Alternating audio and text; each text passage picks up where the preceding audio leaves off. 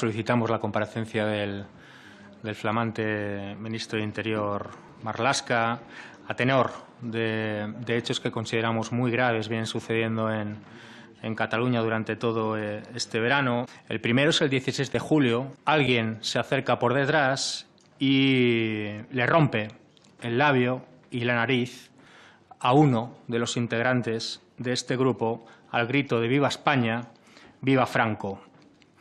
El agresor, ante el revuelo, enseña una placa de policía y pierde una navaja. Es un inspector de la Brigada de Información de la Policía Nacional destinado en la Berneda.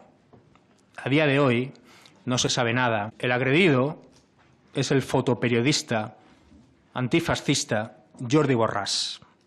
Si tuviera otra militancia, sospechamos que habría salido hasta en el teletexto. El segundo incidente es el 22 de julio. Un coche entró a 40-50 kilómetros por hora, no está claro, en una plaza pública de Vic, arrollando decenas, centenares de cruces ahí puestas por la ANC de la ciudad en recuerdo de los presos políticos. El tercer incidente es el 23 de julio. Un policía nacional, el policía nacional que estaba de guardia en la puerta, escupe, según la denuncia de esas dos personas, a dos diputados de Esquerra Republicana.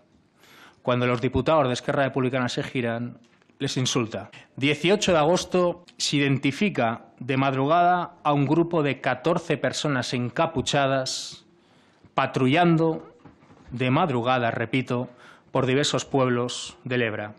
Se les incauta navajas, cúters, escaleras y mapas con diversas direcciones particulares señaladas. Se trata de uno de los denominados Grupos de Defensa y Resistencia, GDR, que para que todo el mundo lo entienda, se trata de una especie de equipos A de la extrema derecha o lo que viene siendo lo mismo algunos sectores de PP, Ciudadanos y sociedad civil catalana.